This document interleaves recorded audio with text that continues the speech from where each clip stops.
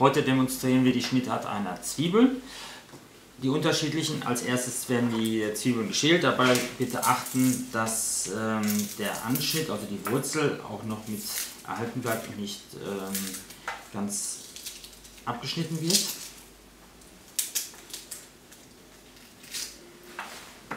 So.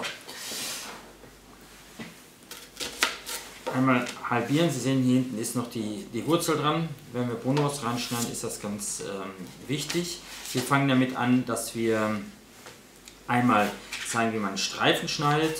Für Streifen bitte die ähm, Enden oben und unten abschneiden und je feiner, wenn Sie es feiner haben wollen, auch das ähm, innere Kerngehäuse rausholen und dann anschließend in feine Streifen runterschneiden.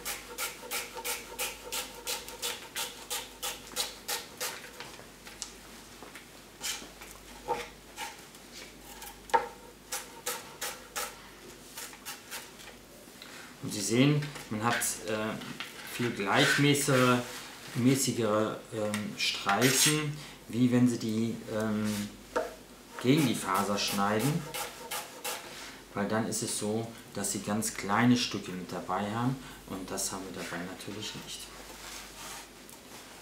So.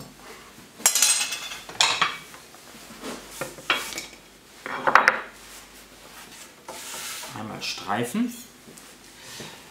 Falls Sie aus einer Zwiebel ähm, Ringe schneiden möchten, diese Ringe werden einfach ganz dünn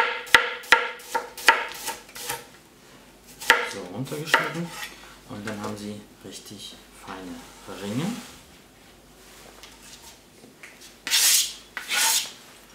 Und bei Brunoise ist es so, Brunoise oder Würfel halbieren, vorne etwas abschneiden, hinten bleibt die Wurzel dran, die Wurzel bitte von dem Körper hinweglegen und einschneiden, fein einschneiden, so bitte, dass hinten noch alles dran hängen bleibt, dann zweimal oder dreimal, kommt immer darauf an, wie groß Ihre Zwiebel ist, auch nochmal wieder einschneiden, auch gucken, nicht durchschneiden bitte, die Zwiebel soll aneinander hängen bleiben und dann wieder ähm, in ganz feine Würfel runterschneiden und dann haben Sie gleichmäßige, saubere, saubere Würfel. Die Abschnitte können wir natürlich sehr gut auch für verschiedene Fonds ähm, hinter dementsprechend weiterverarbeiten.